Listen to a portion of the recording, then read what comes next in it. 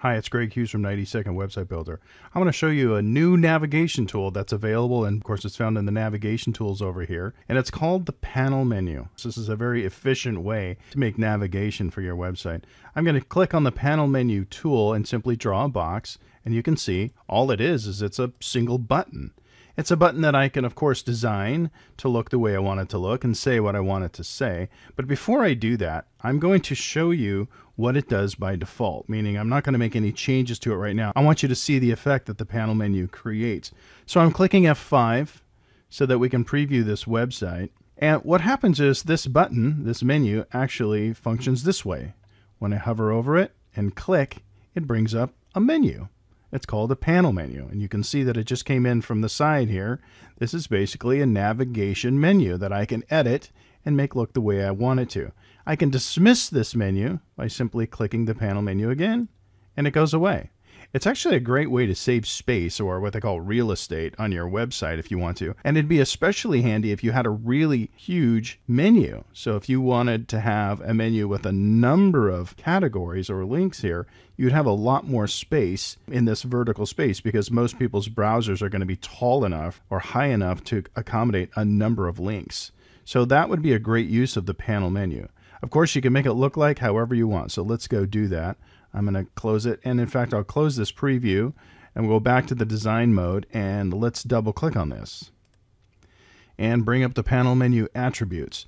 Here, of course, is the menu. We'll want to change that to suit and it works just like anything else. You select an item, you click edit, and make it say what you want it to say, link it to wherever you want it to link.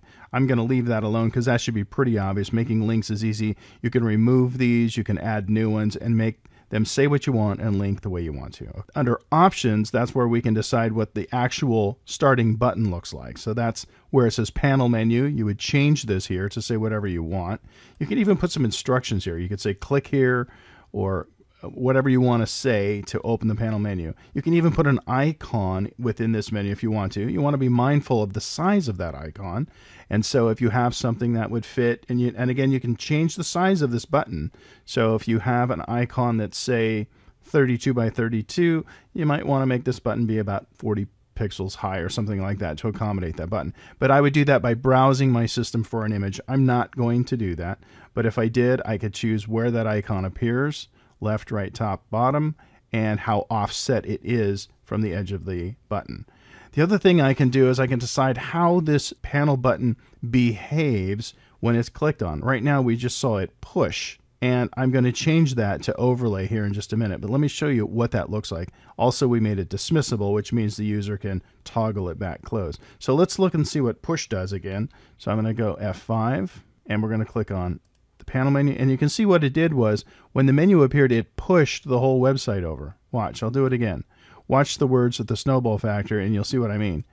You see how it pushes it all the way over to make room for the panel menu. Well, you don't have to do that. One of the other effects you may choose to do, and it may be more efficient, is to choose the overlay appearance. So let's click OK and preview this. Watch what happens.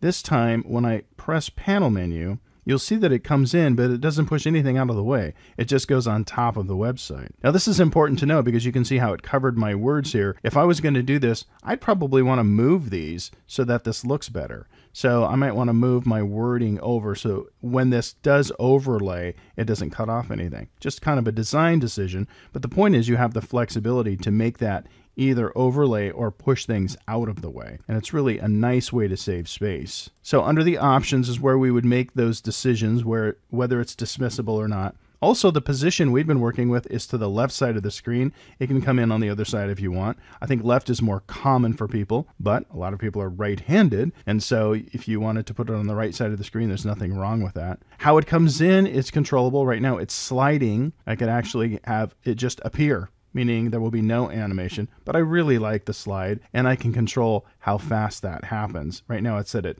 200 milliseconds. So you can change that by changing these numbers. This is a very subtle change in the way it slides. Some of this you won't even notice to the naked eye sometimes, but you can make it sort of bounce in or bounce out. So if you wanted to do kind of a little bit more uh, animation, you could change that. I'll show you what that looks like. And some of these are very subtle, but you see it sort of bounced in really quick. That was very fast, so you'd have to slow it down if you really wanted to see it. But you can see that it does kind of animate a little differently. Again, very subtle changes, and you can play with those. Now, the way it looks is under the style.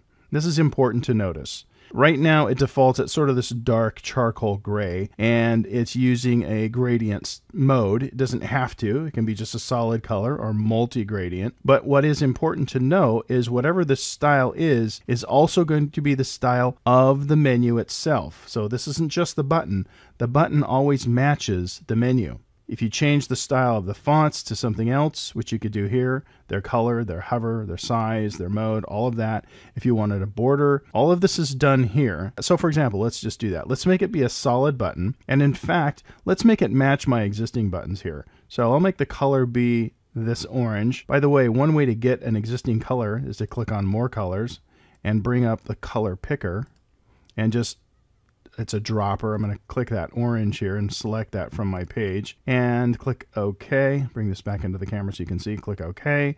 And see, I just changed this to match. Uh, the only difference is I didn't change the border. These don't have a border, and this has a border. So I'd want to change that as well under Style. And I might want to change my hover color. Uh, let's make the border be nothing, so there isn't one. And here's what I'm trying to say. When I test this, I'm going to click F5 you'll see that, and again, there's the hover I didn't change, right? You'll see that the menu comes out and matches.